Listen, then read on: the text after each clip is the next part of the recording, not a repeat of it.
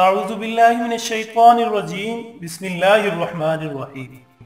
ناظرین، آج ہم ایسے ٹاپک پر بات کریں گے جسے جان کر آپ بے ساختہ کہہ اٹھیں گے کہ اللہ کے سوا کوئی عبادت کے لائق نہیں اور وہ ہر چیز پر قادر ہے۔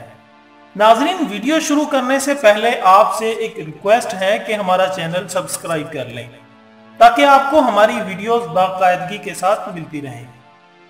ناظرین، اکثر سورت رحمان کی تلاوت سنتے وقت مجھے ایک آیت کی سمجھ نہیں آتی تھی کہ اس آیت میں اللہ تعالیٰ کا مطلب کیا ہے۔ یعنی اللہ تعالیٰ ہم سے کون کون سی نعمت کے بارے میں بات کر رہے ہیں۔ وہ آیات کچھ اس طرح سے ہیں۔ وَلَهُ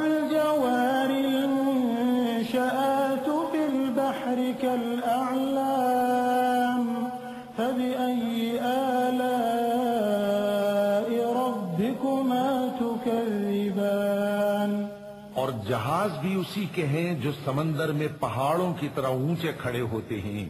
تو تم اپنے پروردگار کی کون کون سی نعمت کو جھٹلاؤ گے؟ ناظرین یہ ہیں وہ آیات جسے ہم پڑھ کر صرف منہ پر ہاتھ پھیر لیتے ہیں اور سوچنے سمجھنے کی زحمت نہیں کرتے کہ آخر ان آیات سے اللہ تعالیٰ کی کیا مراد ہے۔ خیر، اس آیات کو سمجھنے کی بہت کوشش کی، لیکن دل مطمئن نہ ہو سکا ایک دن میں اپنے پیارے سر علی صاحب کے پاس بیٹھا تھا، جو میری نظر میں اس شہر کے سب سے قابل ترین ٹیچر ہیں۔ اور آج میں جو بھی ہوں، ان کی وجہ سے ہوں۔ تو وہ سورت رحمان کے حوالے سے کچھ بات کر رہے تھے۔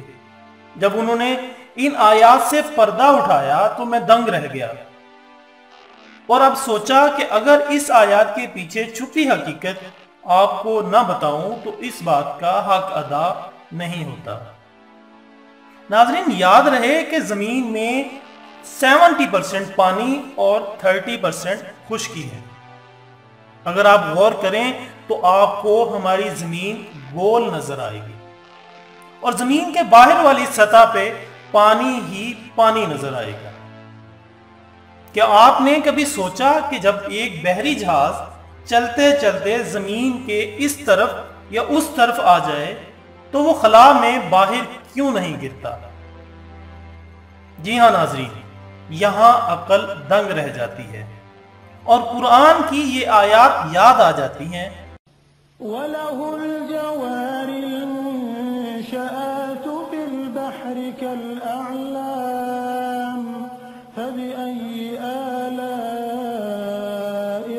رَبِّكُمَا تُكَذِّبَانِ وہی ہے جو سمندروں میں پہاڑوں کی مانت جہاز چلاتا ہے۔ ناظرین، خدا کی اس قدرت کا جواب سائنس ہمیں کچھ یوں دیتی ہے کہ ہمارے اوپر کرہ ہوائی کا پریشر ہے، جو ہمیں خلا میں جانے سے روکے ہوئے ہے۔ اور جس دن کرہ ہوائی کا پریشر ختم ہوا، انسان اس دنیا میں اڑتا ہوا دکھائی دے گا۔ جیسے پتنگ اڑتی ہے۔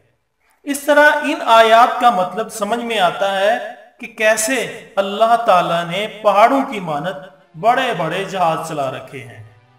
سبحان اللہ، ناظرین، قرآن کا موضوع انسان ہے، لیکن آج انسان اس سے دور بھاگ رہا ہے۔ ہم دوسروں کو کہہ رہے ہوتے ہیں کہ دعا کرو، اللہ ہمیں ہدایت دے۔ لیکن ہم یہ بھول چکے ہیں کہ ہمیں ہدایت تو چودہ سو سال پہلے مل چکی ہے یعنی قرآن۔ لیکن افسوس کے ساتھ ہم اس سے آج بہت دور ہو چکے ہیں۔ قرآن کا مقصد اسے سمجھنا اور عبرت حاصل کرنا ہے اور اس میں عقل والوں کے لیے بڑی نشانیاں ہیں۔ ناظرین، امید کرتے ہیں کہ آپ کو ہماری ویڈیو پسند آئی ہوگی۔ اس دعا کے ساتھ کہ آپ جہاں بھی رہیں، خوش رہیں۔ اپنا دوستوں رشتہ داروں اور اپنے ارد گرد کا بہت خیال رکھیے گا۔ اللہ حافظ۔